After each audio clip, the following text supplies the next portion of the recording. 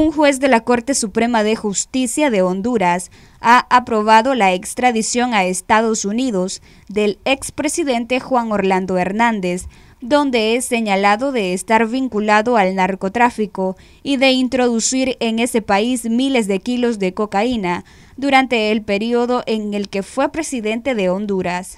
El juez de extradición de primera instancia, luego de haber escuchado los argumentos de pruebas presentados por el equipo de la defensa y toda la documentación enviada por el Estado requirente, considera que es procedente declarar la extradición. Así lo confirmó el portavoz del organismo judicial, Melvin Duarte, tras una audiencia inusualmente larga que se extendió por más de 11 horas.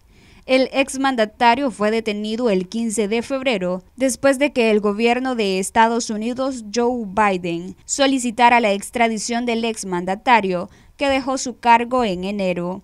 Washington también le había retirado la visa estadounidense e incluso en el listado de actores corruptos y antidemocráticos. La defensora de Hernández tiene ahora un plazo de tres días para apelar ante el Pleno de la Corte Suprema de Justicia algo que harán según han adelantado sus abogados. Sobre Hernández, quien mantuvo el poder en el 2018 bajo fuertes protestas que se desarrollaron en las principales ciudades del país, pesan fuertes acusaciones de un fiscal de Nueva York que lo señala de haber recibido en el 2013 sobornos de narcotraficantes para financiar su primera campaña presidencial.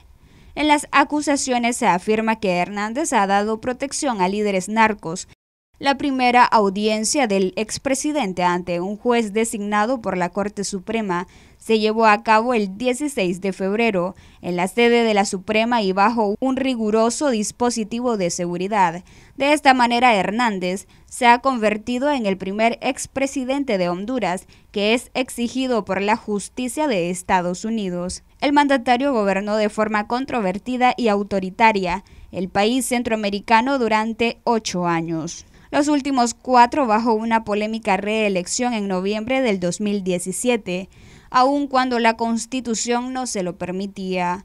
Para Noticias 12, Luisa Centeno.